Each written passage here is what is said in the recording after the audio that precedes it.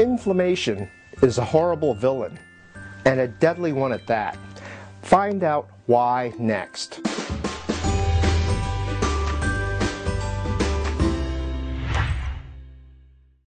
Rheumatoid arthritis patients show relationship between inflammation and carotid artery disease.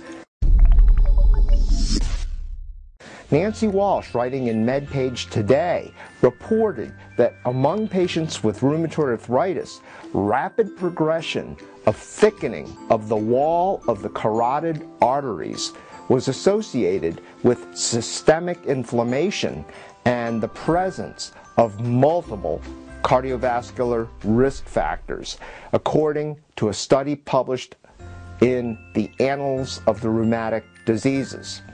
Such a link had been suggested in other studies, so a new study of 487 patients was conducted using high resolution carotid ultrasound at baseline and three years later.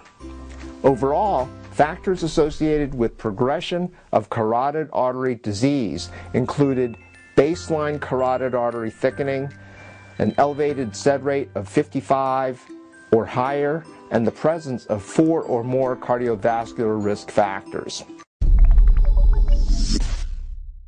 My comment, another reason to get rheumatoid arthritis into remission as quickly as possible. Thanks for watching.